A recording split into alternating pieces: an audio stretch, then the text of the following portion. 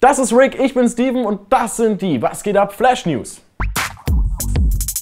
Russlands Präsident Wladimir Putin hat sich am Donnerstag mit einem Beitrag in der New York Times direkt an das amerikanische Volk gewandt. Er warnt die Menschen vor den möglichen Folgen eines Militärschlages in Syrien und spricht von einer neuen Terrorwelle mit vielen unschuldigen Opfern. Putin betonte, dass es auch für ihn keinen Zweifel am Einsatz von Giftgas gebe. Er allerdings glaube nicht, dass das Gas vom Regime eingesetzt worden sei. Viel wahrscheinlicher findet er, dass die Rebellen das Gas eingesetzt haben, um eine ausländische Intervention zu provozieren. Laut einem amerikanischen Regierungssprecher liefert die CIA seit zwei zwei Wochen leichte Waffen, Munition und medizinische Ausrüstung an syrische Rebellen. Dieser Schritt war bereits im Juni angekündigt worden. Damit ist die Rolle der USA in dem Konflikt beträchtlich gewachsen, obwohl der geplante Luftangriff vorerst ausbleibt. Kritik erntete Barack Obama an anderer Stelle auch von Facebook-Chef Mark Zuckerberg, der der amerikanischen Regierung Versagen in der NSA-Affäre vorwirft. Zusammen mit anderen großen Internetunternehmen wie Yahoo, Google und Microsoft beschwerte sich Zuckerberg auf einer Konferenz am Mittwoch über die mangelnde Aufklärung in Geheimdienstangelegenheiten. Er sieht es als als seine Aufgabe an, die Daten seiner User zu schützen. Tatsächlich habe es viele Datenanfragen bei Facebook gegeben,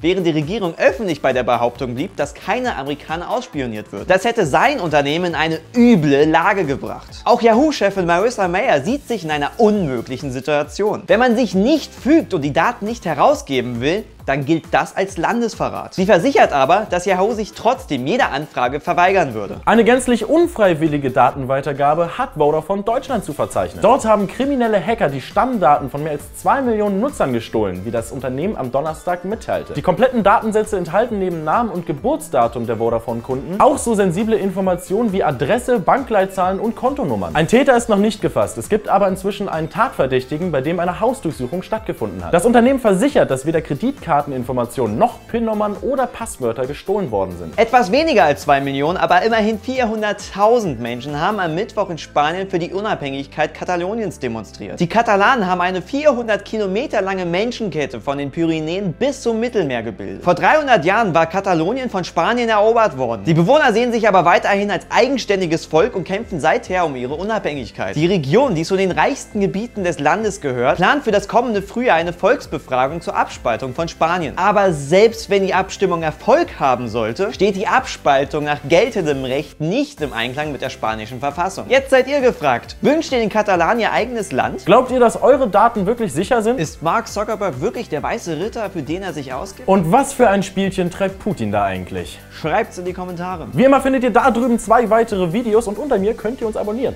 Dort findet ihr auch Textcalibur. Zudem in der Beschreibung alle Links zu den Social Media Seiten.